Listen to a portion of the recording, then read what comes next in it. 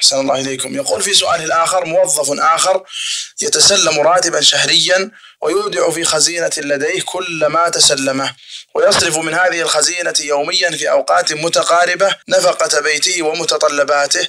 مبالغ متفاوتة حسب الحاجة. فكيف يكون حول ما يتوافر في هذه الخزينة؟ وكيف تخرج الزكاة في مثل هذه الحالة؟